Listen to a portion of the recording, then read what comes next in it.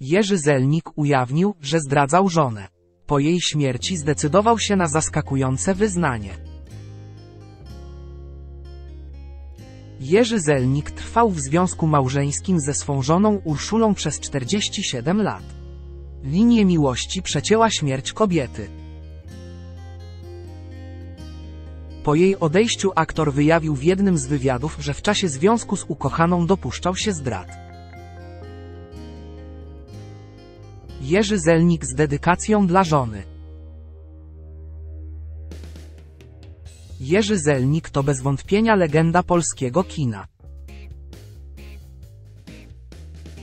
Wykreowana przez niego w kultowym Faraoni Jerzego Kawalerowicza postać Ramzesa XIII to przykład kumsztu i ogromnego talentu. Już wkrótce przyjdzie nam podziwiać aktora w kolejnej wyjątkowej roli. Gwiazdor wcieli się we włoskiego kardynała w serialu TVP Korona Królów. W rozmowie z Dobrym Tygodniem jeden z członków produkcji wyjawił, że 77-latek zadedykuje kreację swojej zmarłej żonie Urszuli. Małżeństwo Jerzego Zelnika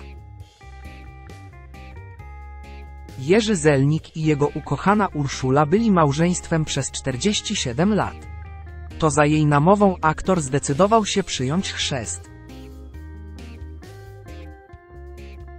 Do sakramentów przystąpił jeszcze przed ślubem. Wkrótce para doczekała się syna Mateusza. Choć na pozór historia małżeństwa wydaje się być wyciętą z pięknej powieści o miłości, relacja daleka była od idealnej. Wkrótce po śmierci żony w 2014 roku Gwiazdor wyjawił, że zdarzało mu się ją zdradzać. Jerzy Zelnik o niewierności małżeńskiej.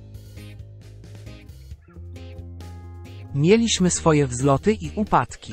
Kochaliśmy się, a jednocześnie walczyliśmy ze sobą. Niegdyś zaniedbywałem żonę. Trafiały mi się momenty pozamałżeńskiego zauroczenia. Kilkakrotnie złamałem przysięgę wierności, wyznał Jerzy Zelnik w rozmowie z Dobrym Tygodniem. Dziś aktor twierdzi, że nie potrzebuje już w swoim życiu nowej miłości. Wciąż tkwi w nim gorące uczucie, którym żywił zmarłą Urszulę pomimo trudnych momentów w historii ich związku.